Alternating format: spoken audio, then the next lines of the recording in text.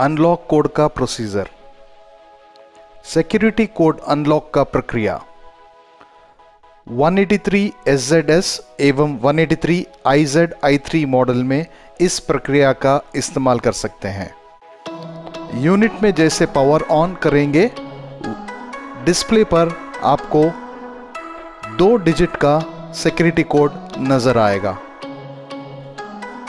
Customer का indoor serial number एवं outdoor serial number और कॉल और कॉल नंबर और कॉल नंबर साथ में रखें और कॉल सेंटर कॉल करें।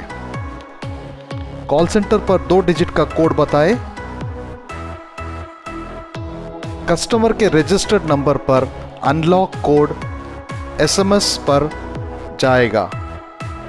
कस्टमर के मेल आईडी पर भी एसएमएस कोड जाएगा। यदि 10 मिनट के अंदर कोड नहीं मिलने के अवस्था में वोल्टास एरिया सर्विस मैनेजर या ब्रांच सर्विस मैनेजर को संपर्क करें। जैसे ही अनलॉक कोड मिल जाता है तो रिमोट ऑन करें और सेवर की 10 सेकंड तक प्रेस करें। 10 सेकंड के बाद ज़ीरो आँख ब्लिंक करने लगेगा। माइनस एवं प्लस बटन से अनलॉक कोड के डिजिट सेलेक्ट करें। अनलॉक कोड के पाँच डिजिट होते हैं। एक एक करके आपको सेलेक्ट करना है। जैसे कि अगर नौ सेलेक्ट करना है तो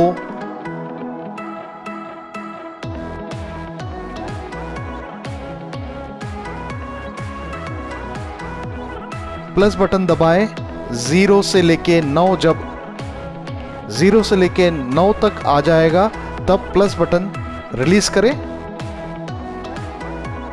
वापस ज़ीरो ब्लिंकिंग नेक्स्ट डिजिट में होगा। यही प्रक्रिया पाँच डिजिट का कोड जब तक एंटर करते हैं, तब तक जारी रखें। जैसे पाँच डिजिट कंप्लीट होते हैं रिमोट को यूनिट के तरफ़ पॉइंट करें। और छः सेकंड बाद आपको तीन बार यूनिट पर यूएल ब्लिंक होता हुआ नज़र आएगा। छः बीप साउंड छः बार बीप साउंड सुनाई देगा।